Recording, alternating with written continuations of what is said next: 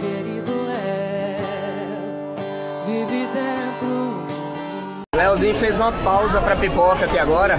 Ô Léo, quantos anos você tá fazendo? É três? Cadê o três? Ah, aê garoto, muito bom! Decoração aqui do aniversário do Léo, de futebol.